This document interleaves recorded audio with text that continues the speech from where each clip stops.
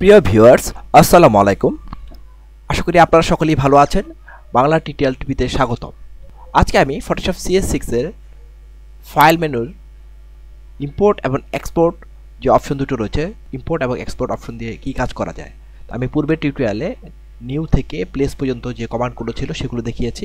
তো চলুন প্রথমে শুরু করা যায় ইম্পোর্ট যে অপশনটা আছে সেটা কী কাজ করা যায়। তো আমি এখানে একটা ইমেজ নিয়েছি, আপনারা দেখতে পাচ্ছেন। মেনুবার থেকে ফাইলে চলে যাব। ফাইলে গিয়ে এখানে ইম্পোর্টে যদি চলে আসি ইম্পোর্ট যে অপশনটা আছে তার ডান দিকে যে একটা ট্রায়াঙ্গুলার একটা আইকন দেখতে পাচ্ছেন, এর মানে এর কিছু সাব অপশন রয়েছে। তো আমরা ইম্পোর্টের উপর যখন কার্সন নিব এবং সেটা হাইলাইট করব, তখন দেখতে পাবো সাব অপশনগুলো দেখা যাচ্ছে। তো ভেরিয়েবল ডাটা সেটস এটা নিয়ে আমি আলাদা একটা টিউটোরিয়াল তৈরি করব। তো ভিডিও ফ্রেন্ডস টু লেয়ার আমরা যে ভিডিও ফ্রেন্ডস টু লেয়ার এটা কি কাজ করে। ইউটিউবের জন্য বা অন্য কোনো কারণে আমাদের ভিডিও থেকে যদি কোনো থামলাইল তৈরি করতে হয়, তখন আমরা এই অপশনটা কাজে লাগাতে পারি। তো ফাইল থেকে আমি পুনরায় ইম্পোর্টে গিয়ে ভিডিও ফ্রেম টু লেয়ার আমাদের যে ভিডিওটা আছে, সেই ভিডিও ফাইলটা এখানে ওপেন করব। এখানে আমার ভিডিও ফাইলটা রয়েছে সাপোজ আমার এখানে একটা ভিডিও ফাইল আছে, এই একটা ভিডিও ফাইল তো আমি এই ভিডিও ফাইলটা সিলেক্ট করে দিয়ে ওপেন করব। তো আমার ভিডিও ফাইলটা এখানে ওপেন হয়েছে দেখতে দেখতে পাচ্ছেন? ফরম বিগিনিং টু এন্ড অর্থাৎ ভিডিওটা প্রথম থেকে শেষ পর্যন্ত ইম্পোর্ট করতে পারি। আমরা যেহেতু থামলেল তৈরি করব, তাহলে আমাদের নির্দিষ্ট কিছু ইমেজের দরকার হবে। তো পুরো ভিডিওটা যদি আমরা এখানে ইম্পোর্ট করি, তাহলে এটা লোডিংয়ে অনেক সময় নেবে। ফাইল খুব বড়, তো আমরা এখানে সেই জন্য সবচেয়ে ভালো হয় সিলেক্টেড রেঞ্জ অনলি এই অপশনটা রেডিও বাটনে চেক করে দেওয়া বা বাটন ক্লিক করে। এবং limit to every two frames এটা ঠিক থাকবে। যা আছে তাই থাকবে। দেখুন, আমি এটা প্লে করে দিচ্ছি আমাদের ভিডিওটা দেখা যাচ্ছে ভিতরে। আমরা এখানে ভিডিওর কোন ইমেজটা দিয়ে থামনেল তৈরি করতে চাই, সেটা আমরা এখান থেকে দেখে নিতে পারব। তো আমরা চাচ্ছি সাপোজ ভিডিওর এই ইমেজটা দিয়ে আমরা থামনেল তৈরি করব। তাহলে আমরা এই স্লাইডারটা এখানে রেখে এখানে যে সাইডে যে অ্যারো চিহ্নের মতো যে মার্কার রয়েছে, সেগুলোকে আমরা ড্রাগ করে এবং স্লাইডারের ভিতরে নিয়ে আসব। স্লাইডারের দুই পাশে নিয়ে আসব। তাহলে এটা রেঞ্জটা সিলেক্টেড রেঞ্জ তাহলে আমরা এই সিলেক্টরের মাধ্যমে এটা সিলেক্ট করে নিলাম যে এইটুকু রেঞ্জের ভিতরে আমরা ভিডিওটা ইম্পোর্ট করব। তাহলে আমি ওকে দিয়ে দিব। ভিডিওটার তিনটা লেয়ার এখানে ইম্পোর্ট হয়েছে। আমরা যদি উইন্ডো থেকে এখন টাইম লাইনে যাই, তাহলে আমরা এখানে দেখতে পাবো টাইম লাইনের ভিতরে লেয়ার তিনটা দেখা যাচ্ছে। এই তিনটা লেয়ার ইম্পোর্ট হয়েছে এবং এটা প্লে করলে আমরা এখানে দেখতে পাবো তিনটা লেয়ারই এখানে দেখা যাচ্ছে। আমরা এখন ভিডিওর এই ইমেজের মাধ্যমে আমরা এখন থামলেন তৈরি করতে পারব বা এডিটিং করে আমরা এই লেয়ারটাকে ভিডিওর এই লেয়ারটাকে থামলেন হিসেবে ব্যবহার করতে পারি। তো আপনারা দেখলেন ফাইল থেকে আমরা কীভাবে ইম্পোর্ট থেকে ভিডিও ফ্রেম টু লেয়ার ভিডিওর থেকে কোনো ফ্রেমকে লেয়ারে কীভাবে নিয়ে আসতে পারি ফটোশপে সেই কমান্ডটা আপনারা দেখলেন। এবার দেখব আমরা নোটসের কমান্ডটা কী কাজে লাগে? ইম্পোর্টের নোটসের কমান্ডটা কী কাজে লাগে? তো এখানে এই জন্য আমরা এই ইমেজটা নিব। তো ফটোশপে দেখা যায় যে আমরা কোনো ইমেজকে এডিটিং করার পরে দ্বিতীয় বা তৃতীয় কোনো ইউজার যদি সেই ইমেজটাকে এডিটিং করে, তার জন্য কিছু নোট আমরা করে দিতে পারি। তো নোটটা করার জন্য আমরা ধরুন এই ইমেজটাকে আমরা এখানে ওপেন করলাম যে আইডোপা টুলটা আছে, সেই টুলের উপর মাউসের বাম বাটন লং প্রেস করলে এখানে একটা ড্রপ ডাউন হিসাবে অর্থাৎ সাব কিছু টুল আসবে। সেখান থেকে নোট টুলটা এখান থেকে আমরা সিলেক্ট করে নেব। নোট টুলটা সিলেক্ট করার সাথে সাথে দেখুন আমাদের নোটের যে আইকনটা দেখা যাচ্ছে, তো আমরা সাপোজ চাচ্ছি এই ইমেজের গাছটা দেখা যাচ্ছে, এই গাছটা এখান থেকে আমরা রিমুভ করে ফেলব বা এই অ্যান্টিনাটা রিমুভ করে ফেলব এখান থেকে ডিলিট করে ফেলব সেটা সেই সম্বন্ধে আমি যদি দ্বিতীয় কাছে কোনো নোট রেখে যেতে চাই, তাহলে আমরা এখানে জাস্ট এই অ্যান্টিনার উপর জাস্ট ক্লিক করব। ক্লিক করার সাথে দেখুন নোটটা এখানে অ্যাপ্লাই হয়ে গেছে এবং এখানে নোট লেখার জন্য ডেসক্রিপশন লেখার জন্য একটা বক্স চলে আসছে। তো আমি এখানে টাইপ করে দেবো, আমার যে প্রয়োজনীয় যে ইনস্ট্রাকশন আছে সেটা আমি এখানে লিখে দিব টাওয়ার এখানে আমি লিখে দিলাম ডিলিট টাওয়ার ঠিক আছে? ডিলিট টাওয়ার লিখে দেওয়ার পর এখানে ওটা এখানে অ্যাপ্লাই হয়ে গেল, দেখুন ওয়ান বাই ওয়ান আছে। এই গাছটা আছে, আমরা চাচ্ছি যে এই গাছটা এখান থেকে, আমরা এখান থেকে ডিলিট করে ফেলব। তো আমি এখানে সেই একইভাবে এখানে আমি ক্লিক করার সাথে সাথে বক্সের ব্যাপারে ক্লিক করার সাথে সাথে নোটটা এখানে অ্যাপ্লাই হয়ে গেল টাইপ করে দিব ডিলিট ফ্রি তো এখানে এখন টু বাই টু অর্থাৎ দুইটা নোট আমরা এখানে তৈরি করেছি। তো তৈরি করেছি। এখন আমি যেটা ক্লোজ করে দিই ক্লোজ করে দিয়ে আমি মুভ টুলটা সিলেক্ট করি সিলেক্ট করে এখানে ক্লিক করি, দেখুন ক্লিক করার সাথে সাথে এখানে পেন টুল চলে আসছে।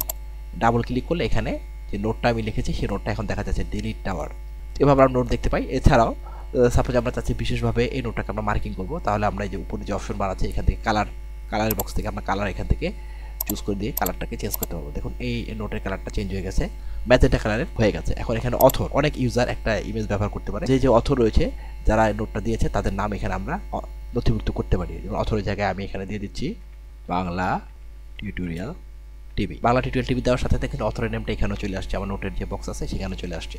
এটা ওকে করে দিলাম। তো আমার বিশেষভাবে এই নোটটা এটা থেকে একটু আলাদা দেখা যাচ্ছে, বা বিশেষভাবে বিশেষ নোট যদি থাকে, তাহলে আমরা এইভাবে সেটাকে কালার দিয়ে মার্কিং করে দিতে পারি। এখানে আমি আমার মাউসের বাপাটা রাবার ক্লিক করি দেখুন, আমাদের অথরের নেমটা দেখা যাচ্ছে এবং নোট নোটে কী আছে তাও দেখা যাচ্ছে ডিসক্রিপশনটা তো এভাবে আমরা একটা ইমেজে বিভিন্ন রকম নোট অ্যাপ্লাই করতে পারি। তো এই নোটটাকে এই ফাইলটাকে এখন আমরা ফাইল থেকে সেভ আজে গিয়ে পিডিএফ আকারে এখানে আমরা সেভ করব।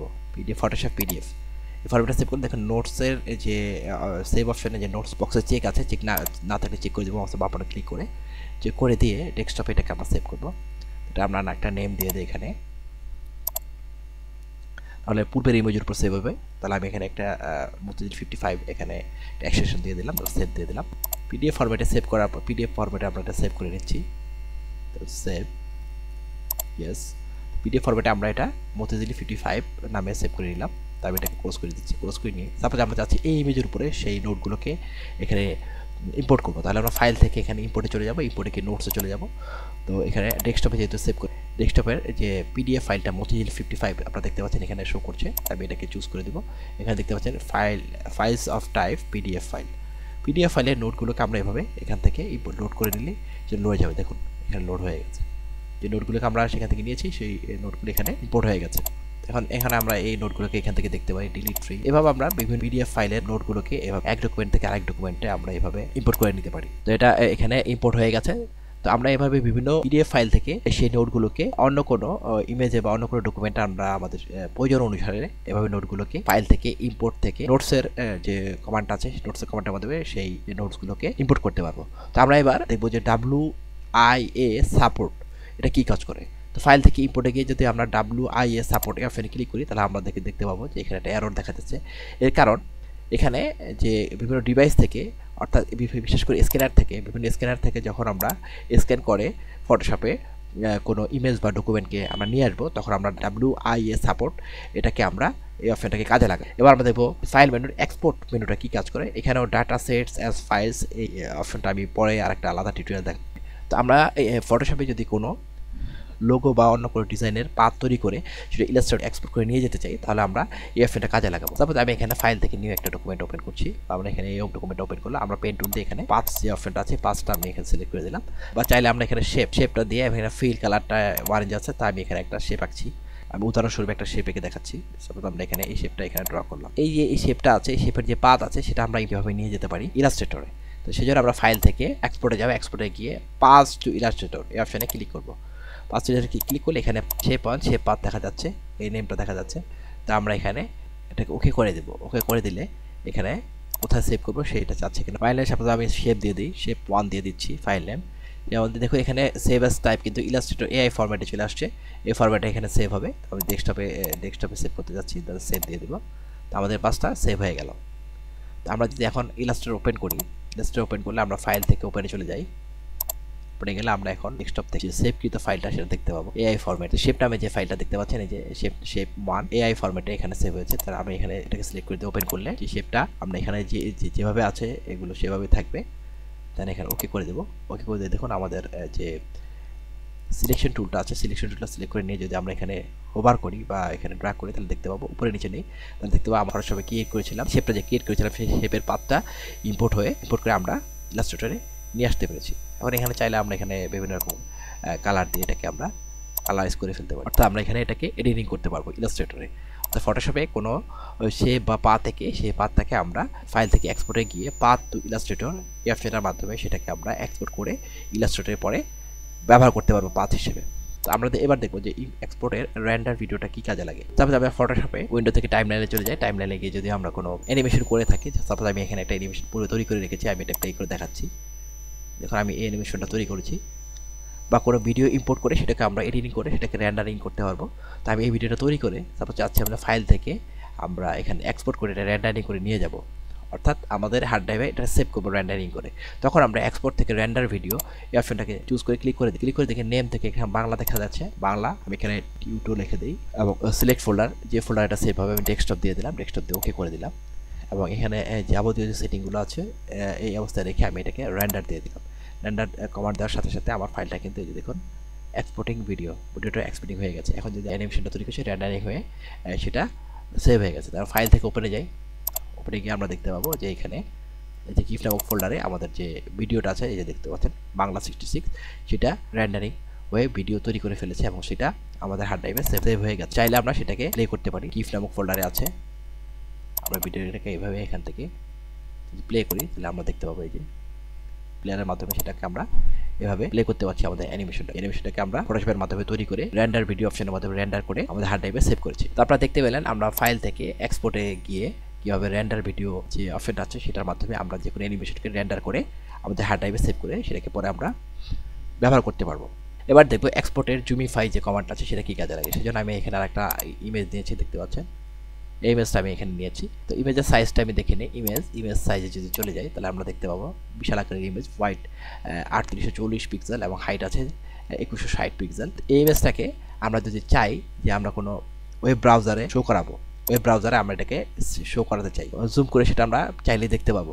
তাহলে আমরা ফাইল থেকে এক্সপোর্টে গিয়ে এখানে জুমিফাই অপশনটা কাজে লাগাতে পারি। তো জুমিফাই কমান্ডটা দিলে আমাদের যে ইমেজটা আছে, সেই ইমেজটা ওয়েব ব্রাউজারে আমরা দেখতে পাবো এবং সেটা আমরা জুম করেও দেখতে পাবো চাই তো এই ব্যাপারে এখানে টেম্পারেটের অপশনে যে অপশনগুলো আছে টেম্পলেটের যে বক্সে যে অপশনগুলো আছে, সেখানে আমরা যে কোনো সিলেক্ট করে দিতে পারি। এখানে Zoomify view with navigator black background Zoomify view with navigator grey background আপনার যেটা পছন্দ আপনারা সেটা এখান থেকে চুজ করে দিতে পারেন। দিয়ে এখানে আউটপুট লোকেশন কোথায় সেভ করবেন, এটা আমি ডেস্কটপে সেভ করতে যাচ্ছি দেন ওকে করে দিলাম। এবং এখানে ডেস্কটপে সেভ হবে, এবং বেস নেম আছে ঢাকা। আমি এটাকে ঢাকা দুই হাজার সতেরো নামে এটাকে সেভ দিব। দিয়ে এখানে কোয়ালিটি আছে টেন তো আমি এখানে ম্যাক্সিমাম টেন কোয়ালিটি টেন রাখব আরও যদি লার্জ করতে চাই, এখানে স্লাইডারটাকে ডান দিকে ট্র্যাক করলে এখানে ম্যাক্সিমাম টুয়েলভ চলে আসবে। এবং এখানে অপটিমাইজ ট্যাবেলসের এখানে চেক চেক না থাকলে চেক করে দেবো। এবং এখানে ব্রাউজার অপশনে এটা কত ডাইমেনশন আমরা দেখতে চাই, সেটা এখানে আমরা সেট সেট করে দিতে পারব। চেয়ে আমরা এখানে ওয়াইড আটশো দিয়ে দিই এবং হাইট এখানে থ্রি হান্ড্রেড দিয়ে দিই। দিয়ে ওপেন ইন ওয়েব ব্রাউজার এই বক্সে চেক থাকতে হবে। তো এভাবে এগুলো পপ উইন্ডো থেকে এই সেটিংগুলোকে আমরা এভাবে সেট করে দিই ওকে করে দিলে আমাদের যে যে ফাইলটা আছে সেটা দেখুন আমাদের কার্সার পিজি দেখা যাচ্ছে এবং সেটা জুমিফাই হয়ে অটোমেটিকলি ব্রাউজারে ওপেন করে দেখাবে। দেখতে পাচ্ছেন আমাদের ফাইলটা এখানে দেখা যাচ্ছে। ফটোশপের মাধ্যমে জুমিফাই করে আমরা ব্রাউজারে দেখতে পাচ্ছি এটা। এখানে নেভিগেটরের মতোই ফটোশপের যে নেভিগেটর আছে, সেই নেভিগেটরের মতো এখানে একটা উইন্ডো দেখা যাচ্ছে এবং এখান থেকে আমরা প্লাসে যদি ক্লিক করি তাহলে আমরা একটা জুম করে দেখতে পারব। এই নেভিগেটর এখানে দেখা যাচ্ছে, দেখুন এটাকে মার্কিং করছে, আমরা কোথায় জুম করছি, তারপরে আমরা এই লেখাটাকে পড়তে যাচ্ছি। তাহলে এটাকে আমরা জুম করে নিয়ে, দেখুন লেখাগুলো স্পষ্টভাবে আমরা দেখতে পাচ্ছি জুম করে। এবং জুম আউট করে দিলে আবার সেটা জুম আউট হয়ে যাচ্ছে। আমরা যে কোনো জায়গায় আমরা যদি জুম করতে চাই, তো এভাবে আমরা ফটোশপের জুমিফাই কমান্ডের মাধ্যমে আমাদের যে কোনো ইমেজকে ব্রাউজারে জুম করে দেখার জন্য ফাইল মেনুর এক্সপোর্টের জুমিফাই কমান্ডটা ব্যবহার করতে পারি। জুমিফাই কমান্ডের মাধ্যমে আমরা যে কোনো লার্জ ইমেজকে আমরা এভাবে জুম করে আমরা ব্রাউজারে খুব সহজে জুম করে দেখতে পারি এবং সেই ফরম্যাটে সেটা ডেস্কটপে সেভ হবে। আশা করি টিউটোরিয়ালটা আপনাদের ভালো লেগে থাকবে। পরবর্তী টিউটোরিয়ালে আমি ফাইল মেনুর বাকি যে অপশনগুলো আছে automate scripts file information print print one copy এবং এক্সিট এই কভারগুলো দেখাবো। পরবর্তী টিউটোরিয়াল দেখার আমন্ত্রণ রইল। বাংলা টিউটোরিয়াল টিভি টিউটোরিয়ালগুলো ভালো লাগলে অবশ্যই বাংলা টিউটোরিয়াল টিভিকে সাবস্ক্রাইব এবং লাইক করবেন। কোনো প্রশ্ন থাকলে অবশ্যই কমেন্ট বক্সে কমেন্ট করে জানাবেন। ধন্যবাদ।